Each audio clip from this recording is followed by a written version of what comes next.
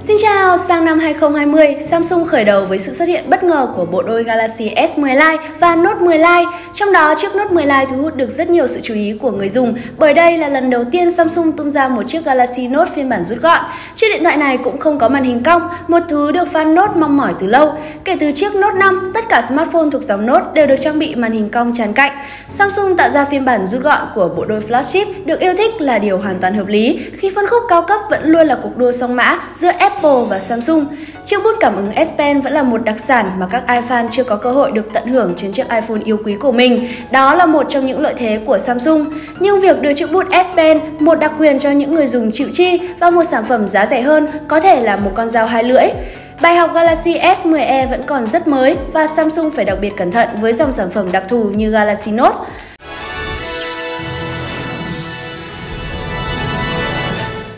Về thiết kế, nếu muốn biết đến xu hướng thiết kế trong tương lai gần của smartphone Samsung, hãy nhìn vào dòng Galaxy A. Kể từ năm 2019, Samsung đã thay đổi chiến lược, đưa các tính năng thiết kế mới lên sản phẩm tầm trung trước để thăm dò phản hồi của người dùng, rồi sẽ đưa chúng lên những sản phẩm khác. Chứng kiến Galaxy A51 và A71 thiết kế màn hình đục lỗ Infinity O và cụm camera kích thước lớn sẽ trải dài tới cả những sản phẩm thuộc phân khúc khác của Samsung, trong đó có Note 10 Lite.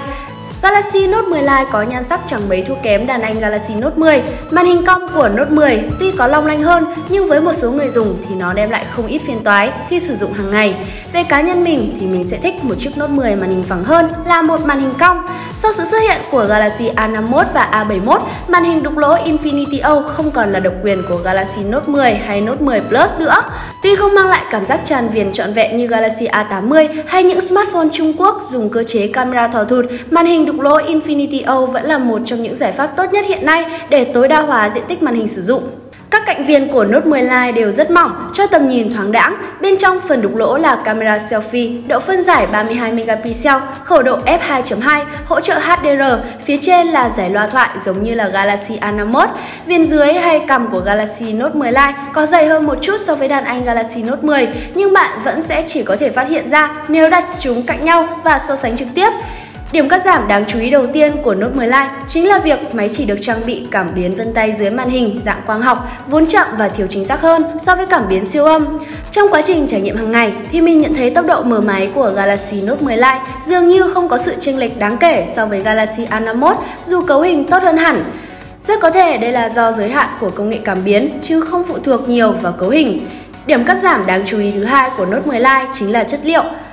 Khung máy vẫn là nhôm, mặt lưng máy chỉ được làm từ nhựa giả kính 3D Glastic giống như là các máy Galaxy A tầm trung. Hiệu ứng chuyển màu Guardian và các họa tiết hoa văn hình khối trên phiên bản màu đen khá ít và khó nhìn, chưa kể lại hiện rõ dấu vân tay hơn nên phiên bản màu trắng có lẽ sẽ là sự lựa chọn tối ưu hơn nếu như bạn là một người thích sự nổi bật.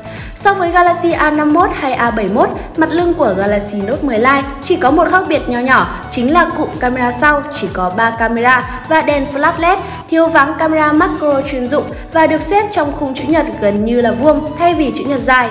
Độ lồi của cụm camera đã được kiểm soát tốt hơn, nhưng cách sắp xếp của Samsung trên Note 10 Lite khiến cụm này chiếm diện tích lớn và dù nhìn như thế nào thì mình vẫn cảm thấy cách sắp xếp camera theo chiều dọc như là Galaxy Note 10 thì vẫn đẹp và tinh tế hơn. Máy có vòng eo 8,7mm và cân nặng là 199g. Galaxy Note 10 Lite nặng hơn cả Galaxy Note 10 và Note 10 Plus nên chắc chắn chiếc điện thoại này sẽ không hề lai ở khía cạnh kích thước.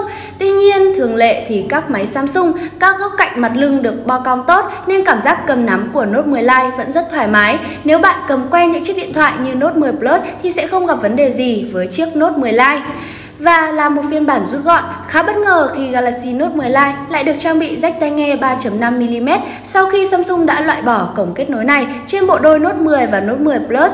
Bên cạnh đó, sự xuất hiện của chiếc bút S Pen trên sản phẩm không thuộc phân khúc cao cấp cũng là một điều mới mẻ. Về màn hình, Galaxy Note 10 Lite trang bị màn hình 6,7 inch Super AMOLED, độ phân giải Full HD+, tỷ lệ 29, dài hơn, thon gọn hơn so với 19.9 của Note 10 hay Note 10 Plus. Màn hình của máy hỗ trợ hiển thị HDR, tăng cường độ tương phản, nhưng Samsung không đề cập nó có phải là HDR 10 cộng hay không. Ưu điểm của tấm nền Super AMOLED là màu đen sâu, góc nhìn rộng, độ tương phản và độ sáng cao, kết hợp với HDR giúp trải nghiệm giải trí của Galaxy Note 10 Lite rất tốt, hoàn toàn tương xứng với mức giá. Tuy nhiên, đặt cạnh tấm nền Dynamic AMOLED trên các sản phẩm flagship của Samsung vẫn có sự chênh lệch đáng kể về độ bão hòa màu và độ trong trẻo mà bạn hoàn toàn có thể nhận thấy được.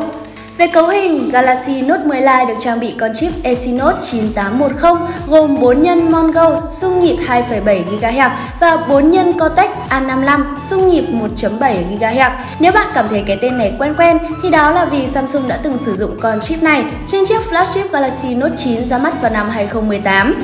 Tất nhiên, chúng ta không thể kỳ vọng Samsung sẽ sử dụng con chip Exynos 9825 tiến trình 7 nanomet mới nhất, nhưng cần nhớ rằng gã khổng lồ công nghệ vẫn còn trong tay Exynos 9820 trên thế hệ Galaxy S10 hay S10 Plus.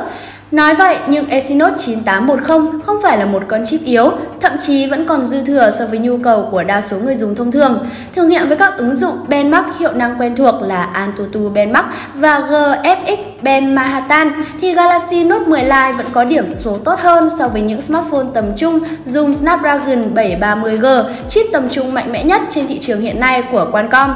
Cộng với bộ nhớ dồi dào 8GB RAM và 128GB bộ nhớ trong, hiệu năng của Galaxy Note 10 Lite không phải là điều mà người dùng cần lo lắng. Với nhu cầu chơi game, GPU Mali G72 MP18 vẫn gánh tốt những tựa game phổ biến hiện nay như PUBG Mobile, Liên quân Mobile ở thiết lập đồ họa cao nhất. Đo bằng công cụ Game số khung hình trên dây của các tựa game được thử nghiệm đều dao động ở mức cao từ 55 đến 60, độ ổn định cao, về phần mềm thì từ đời Galaxy A51 trở đi, những smartphone mới của Samsung đều được cài đặt sẵn Android 10 cùng giao diện One UI 2.0 mới nhất ngay từ khi xuất xưởng. Điểm mới sáng giá nhất trên One UI 2.0 chính là tính năng điều hướng cử chỉ toàn màn hình. Đây là tính năng quan trọng đối với những smartphone tràn viền, đặc biệt là những cái tên có màn hình lớn như Galaxy Note 10 Lite khi ba phím điều hướng ảo dưới màn hình hay giải pháp vuốt cử chỉ nửa vời trên những phiên bản One UI trước đó khiến người dùng gặp khó khó khăn khi sử dụng hàng ngày. Với việc tích hợp thêm bút S Pen, Galaxy Note 10 Lite có thêm một số menu phụ trong cài đặt cũng như phím tắt riêng liên quan, chẳng hạn như là tạo ghi chú, thiết lập tác vụ khi ấn, giữ nút trên bút. Trải nghiệm bút S Pen trên Galaxy Note 10 Lite hoàn toàn giống với những flagship trước đây của Samsung. Độ che phản hồi của bút đều rất tốt và bút tích hợp nhiều tính năng hay ho như e-gesture thực hiện các tác vụ bằng cử chỉ tay, viết ghi chú nhanh hay chụp ảnh bằng một click. Về thời lượng pin thì chấp nhận thân máy dày hơn đáng kể. Galaxy Note 10 Lite trang bị viên pin 4500 mAh, cao nhất trong số ba anh em Note 10, Note 10 Plus. Đây là một sự đánh đổi hợp lý khi nhiều người dùng thậm chí còn kêu gọi các hãng sản xuất ngừng chạy đua làm máy mỏng nhẹ khiến thời lượng pin bị cắt xén. Về thời gian sạc thì Galaxy Note 10 Lite hỗ trợ công suất tối đa 25W, thời gian sạc đầy máy từ 10% pin là 1 giờ 14 phút, sau 30 phút máy sạc được 55%. Nhìn chung, thời lượng pin của Galaxy Note 10 Lite là khá thoải mái, một yếu tố đáng cân nhắc nếu như bạn đang phân vân nên chọn phiên bản Note nào. Về camera, không chỉ chip xử lý, cụm camera cũng là nơi mà Galaxy Note 10 Lite vay mượn từ các đàn anh của mình. Cụ thể, camera chính 12 megapixel được Samsung bê nguyên từ chiếc Note 8 lên nên không có khẩu độ kép f1.5, f2.4, còn camera tele 12 megapixel khẩu độ f2.4 zoom quang 2x OIS thì lấy từ Note 9. Camera góc siêu rộng 12 megapixel, khẩu độ f2.2 thì đã quá quen thuộc trên các sản phẩm gần đây của Samsung. Giao diện chụp ảnh trên One UI 2.0 đã có một số sự thay đổi khi các chế độ chụp phụ như Panorama, chụp đêm, Slow Motion được đặt riêng ở một menu và trên ba menu chính là chụp ảnh, quay phim và lấy nét động. Tất nhiên, do không có camera macro chuyên dụng nên Galaxy Note 10 Lite cũng không có chế độ chụp ảnh cận cảnh. Với cấu hình camera của flagship, dù cũ nhưng Galaxy Note 10 Lite đã cho chất lượng ảnh chụp tốt ở hầu hết các điều kiện chụp. Máy có tốc độ chụp và lấy nét nhanh, màu sắc sống động, tươi tắn, giàu chi tiết. Thậm chí Note 10 Lite còn có một ưu điểm lớn so với Note 8 đó là được tích hợp chế độ chụp đêm nên trong điều kiện ánh sáng kém đến rất kém, máy vẫn cho ảnh chụp giàu chi tiết. Camera góc siêu rộng của Note 10 Lite cho những góc chụp ảnh sáng tạo nhưng có xu hướng đẩy gam màu lên cao, cao hơn cả camera chính, trong một số trường hợp có thể khiến ảnh bị thiếu tự nhiên. Camera selfie của Galaxy Note 10 Lite tuy không có những tính năng xịn sò của Note 10, Note 10 Plus nhưng bù lại được độ phân giải 32 megapixel. Thông số camera selfie của máy tương tự như Galaxy A51 hay A71 với khẩu độ f2.2, kích thước điểm ảnh 0,8 um nên không ngạc nhiên khi chất lượng ảnh chụp cũng tương đương nhau. Ảnh xóa phông của camera trước lẫn sau của Galaxy Note 10 Lite đều rất lung linh với nhiều hiệu ứng nền để bạn có thể sống ảo ngay lập tức, nhưng máy vẫn tự động làm mịn nhẹ da, chủ thể ngay cả khi không bật chế độ làm đẹp, đôi lúc khiến ảnh trở nên thiếu tự nhiên. Như vậy, tổng kết lại thì Galaxy Note 10 Lite là một bước đi lạ thường của Samsung, bất ngờ là một chiếc nốt giá rẻ, màn hình phẳng, chấp nhận rủi ro mất đi cái mắc cao cấp của dòng nốt để tiếp cận được với nhiều đối tượng khách hàng hơn, thời lượng pin tốt hơn, hiệu năng và camera vẫn mạnh mẽ so với chuẩn mực của năm 2020. Không thể phủ nhận rằng Samsung đã gãi đúng chỗ ngứa của người dùng đối với Note 10 Lite. Nếu phải kể ra một điểm trừ, không kể đến cảm biến vân tay quang học hay mặt lưng chất liệu nhựa dù máy nằm trong phân khúc cận cao cấp vì đó là giới hạn của đồng tiền thì chỉ là sự xuất hiện có phần muộn màng của chiếc điện thoại này mà thôi. Nếu Samsung ra mắt một chiếc điện thoại như thế này ngay khi iPhone XR xuất hiện, thậm chí trước đó, cuộc chơi ở phân khúc này sẽ hào hứng hơn rất nhiều. Vừa rồi là đánh giá chi tiết chiếc Galaxy Note 10 Lite của VN Review. Các bạn thấy sao về sản phẩm này? Đừng quên để lại ý kiến của mình ở phía dưới phần bình luận nhé. Còn bây giờ thì xin chào và hẹn gặp lại các bạn trong những video tiếp theo. Bye bye!